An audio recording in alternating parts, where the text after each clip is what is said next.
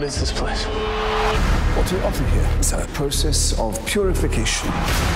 Think of it as a cleansing of the mind as much as the body. I know about the experiments. I saw the bodies. Listen to yourself.